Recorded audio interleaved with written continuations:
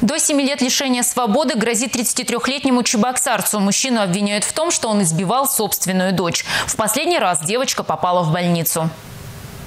Чебоксарцу грозит до 7 лет лишения свободы. Обвиняемого задержали, в отношении него приняты меры пресечения в виде заключения под стражу.